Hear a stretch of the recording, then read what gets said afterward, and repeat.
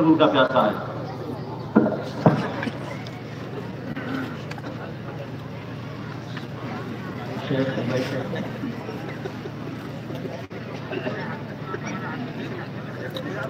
السلام عليكم ورحمة الله وبركاته. إن الحمد لله نحمده ونستعينه ونستغفره. ونعوذ بالله من شرور أنفسنا ومن سيئات أعمالنا. من يهده الله فلا مضل له ومن يضلل فلا هادي له. وأشهد أن لا إله إلا الله وحده لا شريك له. وأشهد أن محمدا عبده ورسوله. يا أيها الذين آمنوا اتقوا الله حق تقاته ولا تموتن إلا وأنتم مسلمون.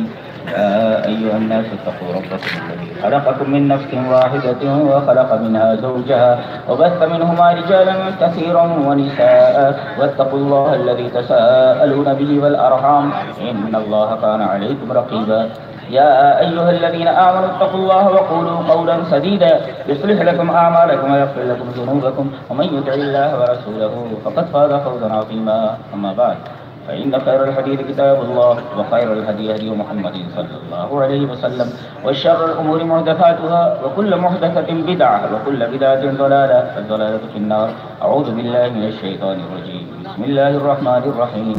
من عمل صالحا من ذكر أو أنثى وهو مؤمن فلنحيينه حياة طيبة ولنجزينهم أجرهم بأحسن ما كانوا يعملون. حضرات علماء کرام، محترم بزرگوں، نوجوان بھائیوں، پیارے بچوں اور گنشی ماں تقریر کے آغاز سے پہلے میں دو باتیں کہہ دینا ضروری سوچتا ہوں۔ ابھی جو ہمارے دیش کے فوجیوں پر جو دہشت گردانہ حملہ ہوا ہے میں اس کی پرزور مذمت کرتا ہوں اور پوری جماعت اہل حدیث جنہوں نے یہ فیل کیا ہے، ان کے اس فیل کو مضموم قرار دیتی ہے ہماری شریعت میں ایک انسان کا قتل، پوری انسانیت کا قتل مانا جاتا ہے اور اسلام میں انسانی جان کا وہ احترام ہے جو احترام کسی اور مذہب کے اندر نہیں پایا جاتا۔ اور دوسری بات میں یہ عرض کروں کہ پرسوں یعنی سترہ فبروری کو مالیگاؤں میں ایک عظیم الشان کانفرنس منہج سلف کے نام سے ہو رہی ہے۔ ہزاروں لوگ آ رہے ہیں، آپ لوگ بھی وہاں تشریف لائیں۔ اور تیسری بات ضمن میں یہ کہوں گا کہ ہمارے جو بہترین خطبہ ہیں، مقررین ہیں، جو اچھے انداز میں اپنی بات لوگوں تک پہنچا سکتے ہیں، بہت سارے لوگ ہیں، ان میں سر فہرست فی الحال ابھرتے ہوئے مولانا عبید شاہد حفظ اللہ ایسے علماء کے آپ لوگ قدر فرمائیں اور ان سے کچھ سیکھیں، ان سے کچھ حاصل کریں۔ اب آئیے عنوان کی طرف آتے ہیں۔ خطبہ مسنونہ کے بعد میں نے ایک آیت کریمہ تلاوت کی ہے۔ آیت کریمہ کا ترجمہ یہ ہے کہ جو مرد یا عورت نیک عمل کرے۔ اچھا۔ نیک عمل کرے۔ اس کے لیے ہم ایک اچھی زندگی دینے کا وعدہ کرتے ہیں۔ اور آخرت میں اور بہتر بدلہ ہم دینے والے ہیں۔ اس آیت کریمہ سے پہلی بات تو یہ معلوم ہوئی کہ جو عقیدہ مرد سے مطلوب ہے، اسلام میں وہی عقیدہ عورت سے بھی مطلوب ہے۔ اب آپ اس سوال کریں گے کہ یہاں تو عقیدے کا تذکرہ ہے نہیں، عمل صالح کا تذکرہ ہے۔ تو عمل کے ساتھ صالح کی جو قید لگائی گئی ہے، یہ اس بات کی دلیل ہے یہاں عقیدہ انڈرسٹوڈ ہے۔ اس لیے کہ عقیدہ اگر صحیح نہیں ہے تو عمل صحیح ہو ہی نہیں سکتا۔ انڈرسٹوڈ ہے۔ مانا جاتا ہے۔ کنسیڈر کیا جائے من عمل صالحا، جو نیک عمل کرے۔ ارے، عمل صالح ہو ہی نہیں سکتا۔ جب تک کہ آدمی کا عقیدہ صحیح نہ ہو۔ تو گویا کہ یہاں کنسیڈر کیا جائے گا کہ یہاں پر عقیدہ کنسیڈر ہے، مانا جائے۔ تو جو عقیدہ مرد سے مطلوب ہے، وہی عقیدہ عورت سے بھی مطلوب ہے۔ جو فرائض مرد سے مطلوب ہے، وہی فرائض عورت سے بھی مطلوب ہے۔ اور جو اعمال صالحہ مرد سے مطلوب ہے، وہی اعمال صالحہ عورت سے بھی مطلوب ہے۔ ایک بات تو یہ معلوم دوسری بات، قانون جزا اور سزا میں مرد اور عورت دونوں برابر ہیں۔ جس طریقے سے مردوں کو جنت یا جہنم میں جانا ہے، ایسے ہی عورتوں کو بھی جنت اور جہنم میں جانا ہے۔ اپنے اپنے آمال کے مطابق۔ تو اس آیت کریمہ سے دو باتیں معلوم ہوئی ہیں۔ کہ آدمی کو مومنانہ ذہن و فکر رکھنا چاہیے، ایک، اور دوسرے، عمل صالح کے ذریعے اپنی زندگی کو آراستہ کرے یہ دو باتیں۔ اور کیا ہے؟ آج گفتگو اسی پر کرنی ہے۔ پہلے ایک حدیث لے لیتے حدیث حدیث کی طرح۔ وعن عبد الله بن عمرو بن عاص رضي الله تعالى عنه ان رسول الله صلى الله عليه وسلم قال ان الدنيا كلها متاع وخير متاع الدنيا المرأة الصالحة. رواه النسائي في كتاب النكاح. حضرت امام نسائی رحمہ اللہ اس حدیث کو نسائی شریف کتاب النکاح کے اندر اسی طرح لایا راوی حضرت عبداللہ بن عمرو بن عاص. وہ فرماتے کہ نبی اکرم صلی اللہ علیہ وسلم نے ارشاد فرمایا، پوری دنیا کو اگر ایک سامان مان لیا جائے، پوری دنیا ایک سامان ہے تو سب سے بہترین سامان عورت ہے۔ کون سی عورت؟ آگے، ہر عورت نہیں، بلکہ وہ عورت دنیا کا بہترین سامان ہے جو نیک ہو۔ نیک، صالح کی قید لگی۔ جیسے من عمل صالحن نے عمل کے ساتھ صالح کی قید لگی۔ صالح۔ اچھا۔ صالح عورت کیسے ہوتی ہے؟ اب یہ دیکھنا۔ بھائی پہلے تو یہ بات معلوم ہوئی کہ بھائی سب سے بہترین سامان عورت اچھا ہر عورت نہیں، بلکہ صالحہ عورت، نیک عورت۔ اب اگلا سوال یہ ہے کہ صالحہ عورت بنتی کیسے ہے؟ صالحہ عورت کس کو بولتے ہیں؟ آئیے حدیث دیکھتے حدیث حدیث کس طرح وان صوبان رضی اللہ تعالی عنہ قال، لما نزلت والذین یکنزون الذهب والفضة قال كنا في بعض أسفاره.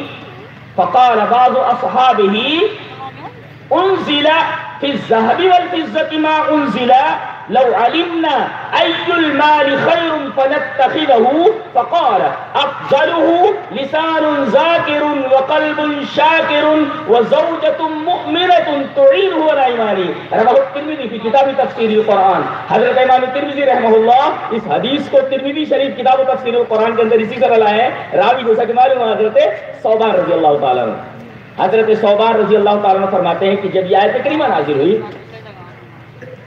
ایک نقطہ بتاؤں؟ اس آیت کریمہ کے آس پاس آگے ایک آیت کریمہ ہے سورہ توبہ کی۔ یہ سورہ توبہ کی آیت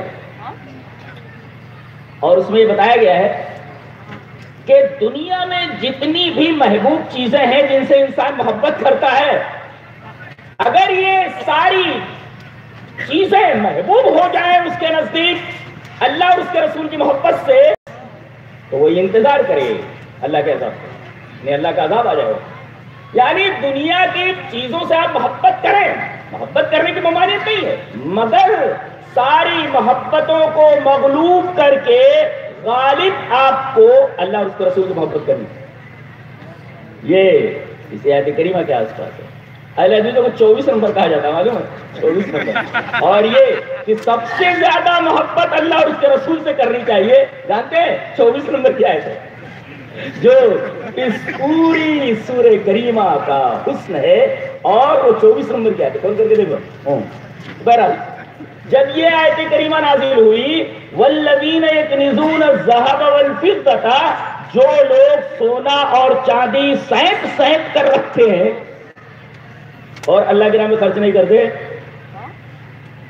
سونا اور چاندی۔ یہ آیت کریمہ نازل ہوئی تو صوبان کہتے ہیں صوبان رضی اللہ ہم لوگ بات سفر میں تھے۔ تو کسی صحابی نے پوچھا کہ اللہ کے رسول، ایک بات پوچھنی ہے۔ پوچھو۔ کہا کہ سونے اور چاندی کے بارے میں جو چیز نازل ہوئی ہے، وہ تو نازل ہوئی ہے، ہمیں معلوم ہے۔ ایک بات جاننا ہے۔ لو علمنا ای المال خیر۔ بھائی، سونا خرچ کرو، چاندی خرچ کرو، پیسے خرچ کرو سینت سینت کر مت رکھو، غریبوں کا حق اس پہ نکالو۔ اے اللہ کے رسول سونے اور چاندی کے بارے میں بات معلوم ہو گئی۔ ہم یہ جاننا چاہتے ہیں کہ سب سے بہترین مال کون سا ہے؟ ای المال خیر۔ سارے مال، سونا، چاندی، ہیرے، جواہرات، روپیہ، پیسہ، بنگلہ، ساری چیزیں۔ سب سے بہترین مال کون سا ہے؟ اور اللہ کے رسول، اگر یہ بات ہمیں معلوم ہو جائے فنک تقیبہ تو وہ مال ہم خرچ کریں۔ اور اس مال کے اوپر نگاہ رکھیں اللہ کے رسول صلی اللہ علیہ وسلم نے شاید فرمایا، سب سے بہترین مال جاننا چاہتے کیا ہے؟ لسان ذاکر جسے اللہ کے ذکر کرنے والی زبان مل جائے۔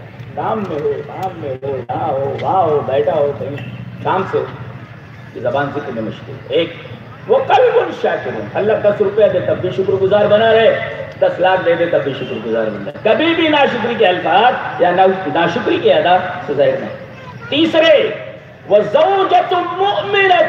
ایمان والی میں نے کہا نہیں تھا، امیر سوالین سے پہلے وہاں ایمان انڈرسٹو ہے یہاں بتایا گیا وہ زوجتم ایمان والی عورت۔ کیسی؟ ہر ایمان والی عورت نہیں، بلکہ تعینہ علی ایمانہ، جو اپنے شوہر کے ایمان پر مدد کرے۔ اللہ۔ چلیے، وہ عورت صالحہ ہے جو ایمان والی ہونے کے ساتھ ساتھ زندگی کے ہر مرحلے میں، ہر قدم پر ایٹ ایوری اسٹیپ وہ اپنے شوہر کے ایمان کے اوپر معاونت کرے، مدد کرے۔ کیسے ہوتا ہے وہ؟ آئیے، بہت مشہور حدیث پڑھتے ہیں اور استدلال دیکھیے۔ اس حدیث سے، حدیث حدیث کی طرح۔ چلو، پوری صنعت کے ساتھ حدیث پڑھ لیتے حدثنا حجاج بہت مشکل امر ہوتا ہے۔ یہ یاد کرنا، پڑھنا، سنانا۔ اب صنعت کے ساتھ ہم پڑھ رہے ہیں۔ حدثنا حجاج اخبرنا ليس بن سعد قال، حدثني عقيل بن خالد قال اخبرنا محمد بن مسلم، سمعت عروة بن الزبير يقول قالت عائشة زوج النبي صلى الله عليه وسلم۔ فرجع إلى خديجة. يرجف فواده فدخل فقال زملوني زملوني. فزمل. فلما سري عنه قال يا خديجة لقد أشفقت ولا نفسي بلاء. لقد أشفقت ولا نفسي بلاء. قالت عائشة أبشر. فوالله لا يخزيك الله أبدا إنك لتصدق الحديث وتصل الرحم وتحمل الكل وتقري الزيف وتعين على نوائب الحق. فانطلقت بي خدیجة إلى ورقة بن نوفل بن أسد نحو بہت اچھا ہونا چاہیے، اس کے بعد آدمی یہ بات پڑھ سکتا ہے۔ جی فانطلقت بي خدیجة إلى ورقة بن نوفل بن أسد وكان رجلا قد تنصر شيخا أعمى يقرأ الإنجيل بالعربية. فقالت له خديجة اے ابن عمي؟ منادہ کی بحث معلوم ہوتا تو یہ محضور اے ابن عمي من ذرمي اے ابن عمي اسمع من ابن أخيك. فقال له ورقة يا ابن أخي ماذا ترى؟ فقال رسول الله صلى الله عليه وسلم فأخبره رسول الله صلى الله عليه وسلم بالذي رأى من ذلك. فقال له ورقة هذا الناموس الذي نزل على موسى يا ليتها فيها يا ليتني فيها جزعا يا ليتني أكون حيا حين يخرجك قومك. فقال قال رسول الله صلى الله عليه وسلم أو مخرجيه؟ قال نعم. لم يأتي. رجل بمثل ما جئت به قط إلا أوتي. وإن يدركني يومك أنصرك نصرا مؤزرا. رواه أحمد في مسندی حرف بحرف اسی طریقے سے امام احمد محمد رحمہ اللہ نے مسند احمد کے اندر یہ روایت اسی سمجھ کے ساتھ. ایسے ذکر فرمائی پوری روایت ہو گئی آئیے، بحث کرتے ہیں سب اس کو. جی. نبی کریم صلی اللہ علیہ وسلم غار حرا میں فرشتہ آ گیا. فرشتے کو دیکھتے ہی اور یہ محسوس کرتے ہی کہ ایک عجیب و غریب مخلوق کی اس سے پہلے ایسی مخلوق سے میری ملاقات نہیں ہوئی تھی، ایک حیبت کاری ہو گئی۔ اور اس حیبت کو اس طرح بیان کیا گیا یر جو اللہ رجفا جانتے کس کو بولتے زلزلے سے زمین کے اوپر زلزلہ کاری ہوتا زمین کیسے ہلتی ہے؟ یعنی پورا کا پورا گاؤں کا اس ہو جاتا وہی لفظ یہاں استعمال کیا ہے۔ یعنی نبی کریم صلی اللہ علیہ وسلم کے دل پر جیسے زلزلہ تاری ہو جائے، ایسا آپ کا دل گھبرا رہا تھا۔ ہوا دل جیسے آپ کے دل پر زلزلہ تاری ہو گیا اللہ۔ یہ پریشانی کی سب سے اونچی اور سب سے عظیم الشان حالت ہوتی۔ جانتے ہیں؟ جنگ احزاب کے موقع پر اللہ تبارک و تعالیٰ نے خود صحابہ کرام رضوان اللہ تعالیٰ علیہم اجمعین کی کیفیت، ان کی حالت کو اس طرح بیان فرمایا کہ ارے کتنے لوگوں نے تقریباً دس ہزار اور علامہ احسان اللہ زہر رحمہ اللہ کی تحقیق مطابق بیس ہزار سے زائد لوگوں نے مدینہ کے گھراؤ کر لیا۔ تین ہزار بے یارو مددگار، صرف اللہ کا سہارا، اللہ کی مدد۔ مورچے پر ڈٹے ہوئے۔ سامنے مسلح پہنچے۔ ڈٹے ہوئے ان کی کیفیت بتائی اتنے ڈرے ہوئے تھے وہ اتنے ڈرے ہوئے تھے۔ اللہ نے فرمایا ہناری کا تلی المؤمنون وزلزلوا۔ یہ کہہ دیا جاتا کافی تھا۔ زلزالا مقبول مطلق لا کر کے بات ختم کر دیا جاتا۔ لیکن بیان نو کے لیے شدید لایا گیا ہناری کا تلی المؤمنون وزلزلوا زلزالا شدیدا ارے زلزلہ اگر تاری ہو جائے تو پورا شہر تہو بارہ ہو جاتا ہے اور یہ کہا گیا زلزلہ، کوئی معمولی زلزلہ نہیں تھا، بڑے زور کا جھٹکا تھا اور جھٹکا بہت ہی شدید تھا۔ اچھا ایک بڑی عجیب و غریب بات ہے، نقطے کی، کہ جب زلزلہ آتا ہے تو چیزیں اپنی جگہ چھوڑ دیتی ہیں۔ ہاں؟ بلڈنگ اپنی جگہ چھوڑ دیتی ہے ایسے ایسے ہونے لگتے ہیں۔ تو کیفیت کیا ہوئی؟ وہ بلغت القلوب الحناجرہ صحابہ کرام کے دل اپنی جگہ سے ہٹ کر کے رکوع میں آ گئے۔ یہ زلزلے کی ابھی اس کو علم کہتے ہیں، اس کو غور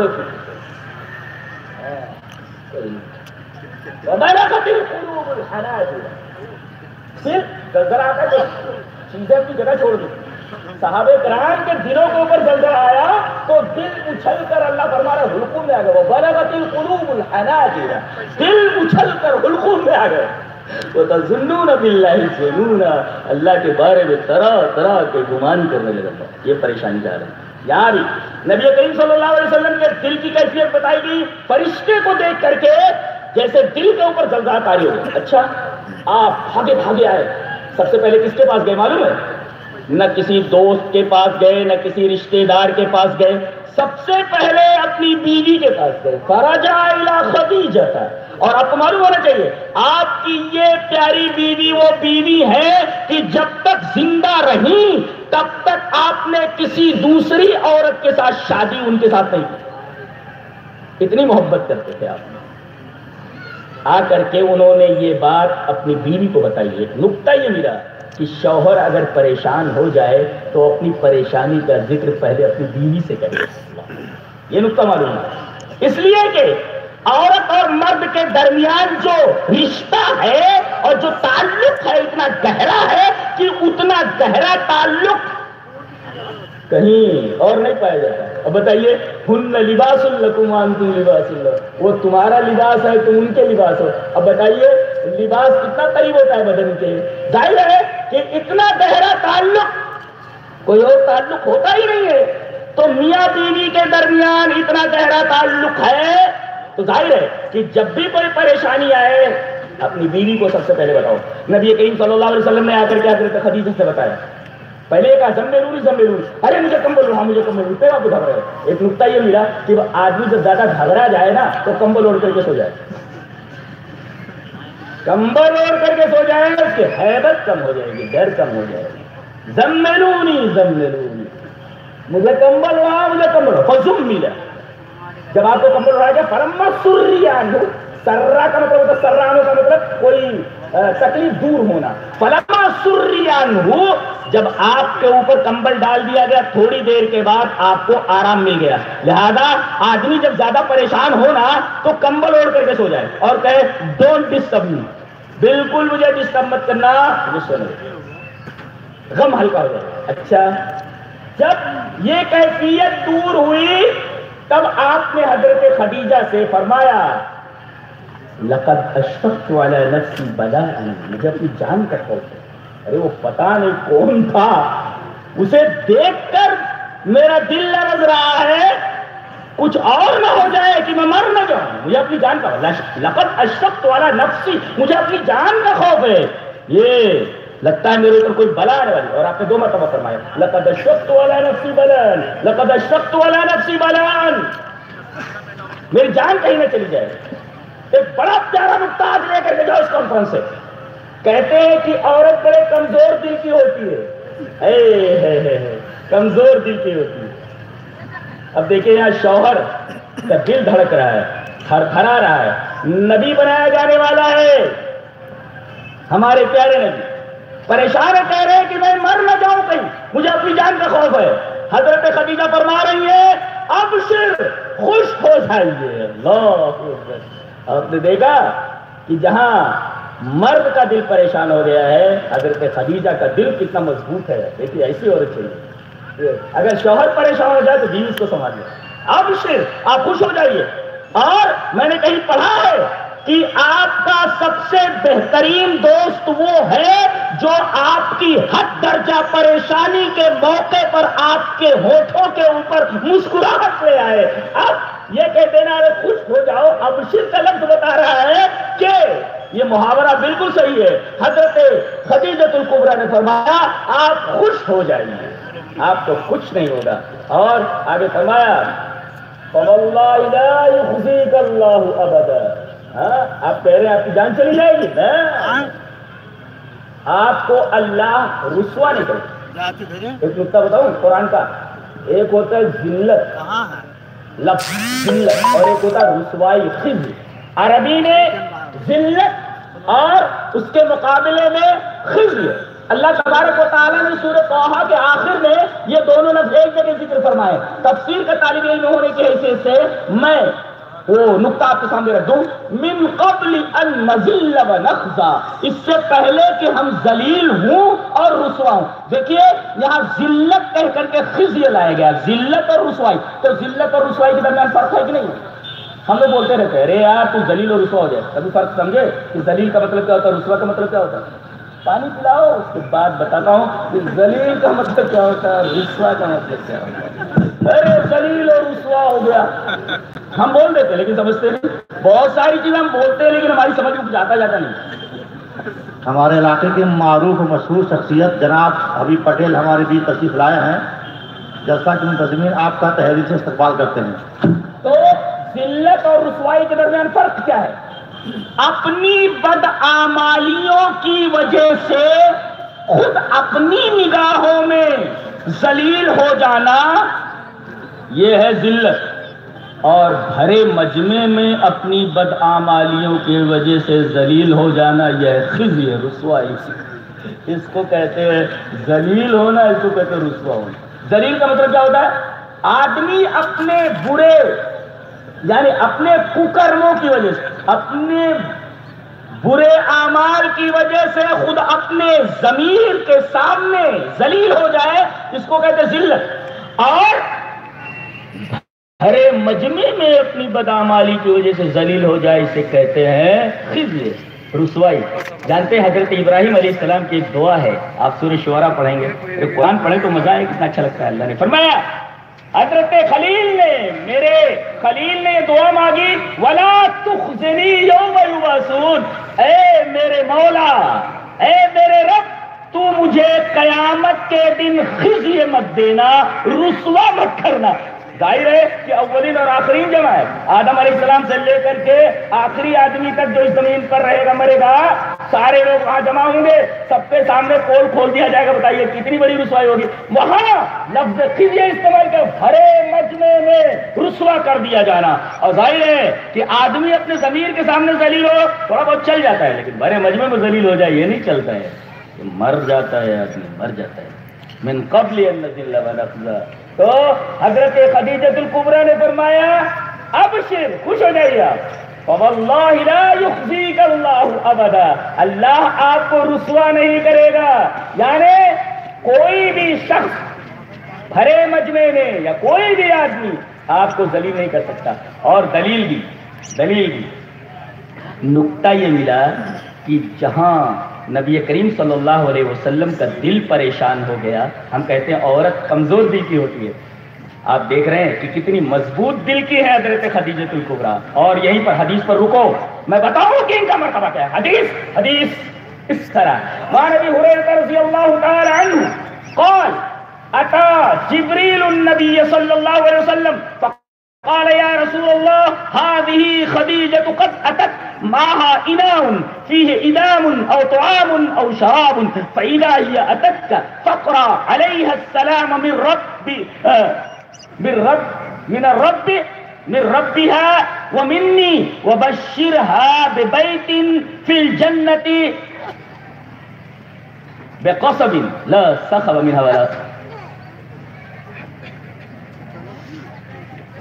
رواہ البخاری فی کتاب المناقب. حضرت امام بخاری رحمہ اللہ اس حدیث کو کتاب المناقب میں لائے۔